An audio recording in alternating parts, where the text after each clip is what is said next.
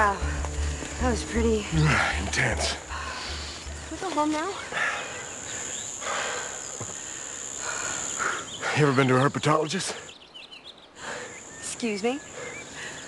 Snake scientist. Never. Well, it was always the first time. Let's go. All right, Vic. Let's see what you got for me.